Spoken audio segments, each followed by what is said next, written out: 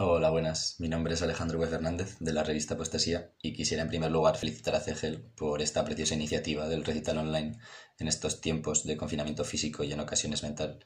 El subtítulo de este recital reza La palabra que contamina, esto es, la palabra que altera la forma de un vocablo o de un texto por influencia de otro, derribando todos los muros del laberinto que nos separa para sabernos juntos en esta dura travesía, para hacer de ese fino hilo de Ariadna individual una constante común.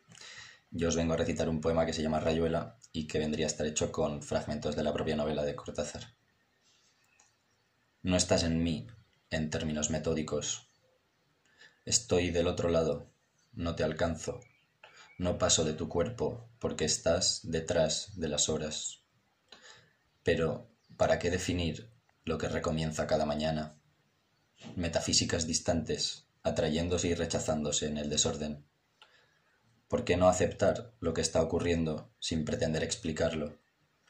No quiero convertirte en palabras, fragmentos de absoluto.